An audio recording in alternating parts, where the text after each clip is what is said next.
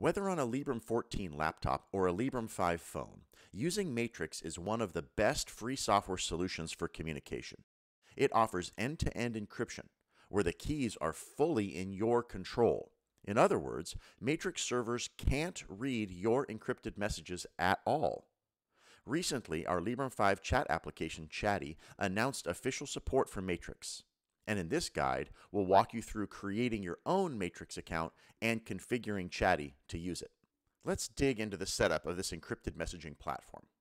Because Matrix is an open protocol not owned by any individual company, there are a number of different Matrix servers you can create accounts on, yet still be able to communicate with people on other servers. It's called decentralization. For instance, Purism offers its own Matrix service as part of Librem 1 called Librem Chat. The largest Matrix server is at matrix.org. To set up an account on Librem 1, visit librem.one and create an account. To set up a matrix.org account, head to app.element.io. By default, this will use matrix.org as your home server. Next, pick your username and set up a password. It's a good idea to keep this in a password manager.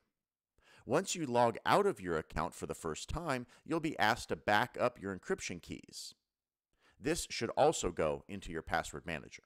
You can always load up this web interface to access Element, but support is also baked into Chats. All you need to do is open Chats, head to Settings, select Matrix, and enter your username and password. For your username, enter the at sign and then your username, followed by a colon and your home server. For this setup, it's at username colon matrix.org. If you still need to set up your GNOME keyring, you'll be prompted to set that up now. This will be the password used to decrypt your stored credentials. Once you're logged in, you'll see a notification on the other logged in element sessions. From one of these sessions, you can share your security keys used for decryption. This will let you send and receive end-to-end encrypted messages.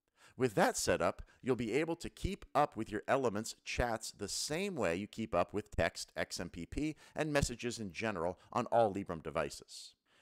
Curious about other free apps you can use on Librem devices? Check out our past videos and blogs. Order your Librem device at puri.sm.